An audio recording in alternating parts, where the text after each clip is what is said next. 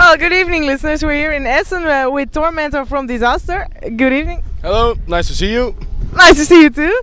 Um, the most listeners uh, from our radio station uh, know Desaster already, but uh, can you uh, tell a bit more uh, of, of the band to, the listeners?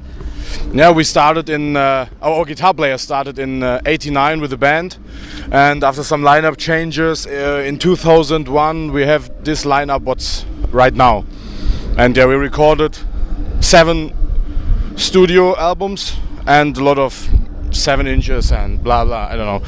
And play a lot of shows and uh, yeah we're still around and try to keep metal metal.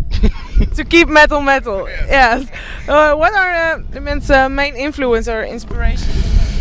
Uh, I think uh, of course, you know, if you are playing kind of thrash metal, you must be Slayer in it, and it must be some, I don't know, Kreator and Sodom and stuff. But uh, I think at the moment um, our influences are from everywhere. Every band we listen to, we try to get the best parts of it in the music. So, but at the end, everything ends in noise. yeah. So in uh, February, the album uh, "The Arts of Destruction" came out.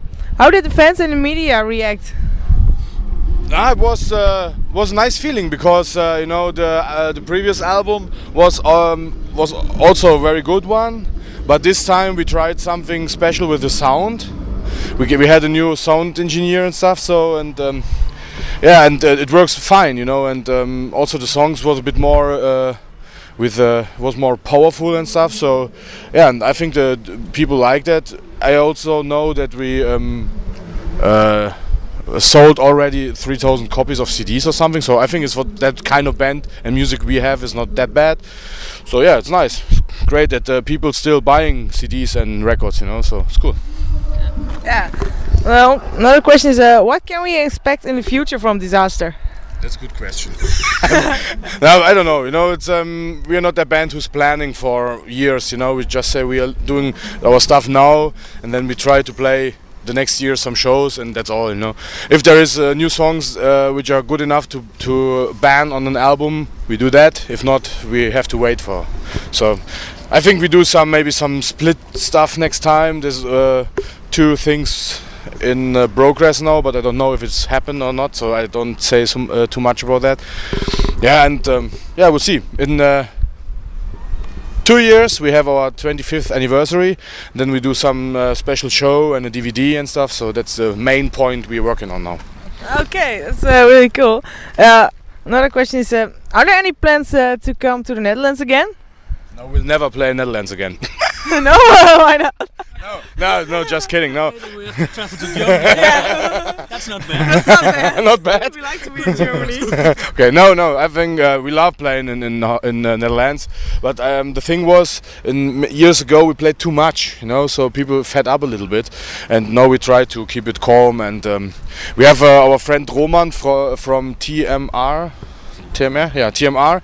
Um, he's uh, he's doing the shows in Netherlands for us, and when there is a, a slot for us, we play, of course, you know. But it's not. Uh, yeah, last year we played at the Eind, uh, at Eindhoven Metal Meeting, for example. Yeah, that yes. was last year. And, yeah. Uh, Occultfest. And Occultfest, yeah, but that's many years ago. That was 2005 or something. Yeah, yeah with Holy Moses uh, okay. and uh, yeah, and Pulverizer played the last time. That's one of my favorite uh, um, bands from um, Netherlands, by the way, next to uh, Asphyx, of course. okay. Um, we uh, go uh, very often to Germany for metal concerts, and we really like the atmosphere in, at the concerts. Uh, what is your opinion about the German metal scene? it's a, a, strange, it's a strange question because um, you know, of course, it's great to uh, play in Germany and to go to festivals and go to uh, gigs and stuff.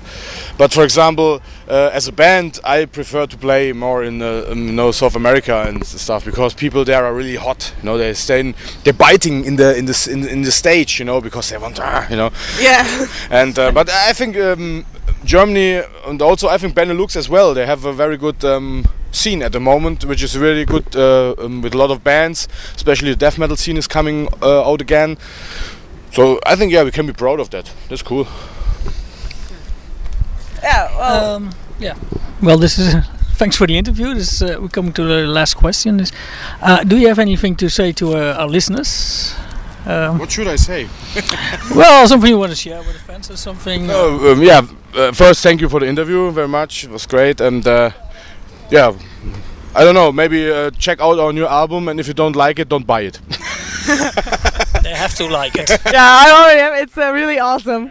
So, uh, yeah, thanks a lot and uh, have a great show. Thank you well. Thank you.